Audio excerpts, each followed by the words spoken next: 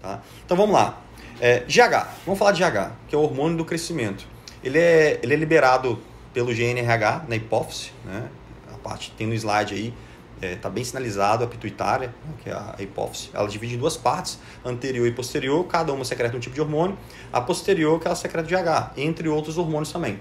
Ela tem um sistema de inibição pela somatostadina, né? Que é, tem até animal que tem deficiência de somatostadina e fica muito grande. Aquele cachorro musculoso, sim, aquele sim. boi musculoso. A gente costuma ver muito essas fotos rodando pela internet. Isso, fala, é, isso é, é, uma mutação. Será que isso é mentira? É uma mutação. É. A somatostadina é responsável por inibir e controlar o crescimento e a secreção desses hormônios.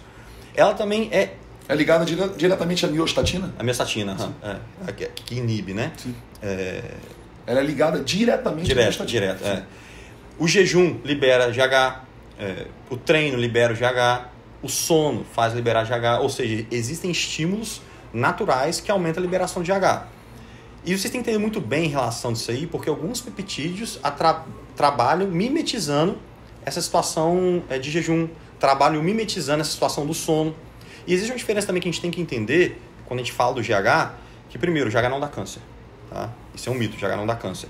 Porém, no outro lado, a gente sabe que o GH ele ele é um hormônio que ele prefere células cancerígenas. O que quer dizer, que quer dizer isso? Por exemplo, você tem lá uma pinta, um, mela, uma, um sinal, e é um melanoma, é um câncer de pele, você não sabe. Aí você começa a tomar GH, aquilo ali vai crescer. Ou seja, foi o GH que te deu câncer? Não, mas você já tinha. Tá? Isso aí você já tinha. Então, o GH não dá câncer, assim como nenhum hormônio dá câncer. Porém, se tiver alguma coisa, pode ser que aquilo ali se prolifere. Por exemplo, você tem um antecedente patológico familiar, pai e mãe. Um teve câncer de colo, outro teve câncer de tireoide. É. Você vai usar GH? É. Né? Sua mãe teve câncer de mama, a outra teve câncer de ovário, seu pai teve é, é, é um câncer de timo. É literalmente uma roleta russa. Você vai, você vai, aquilo está na sua genética. Você vai brincar?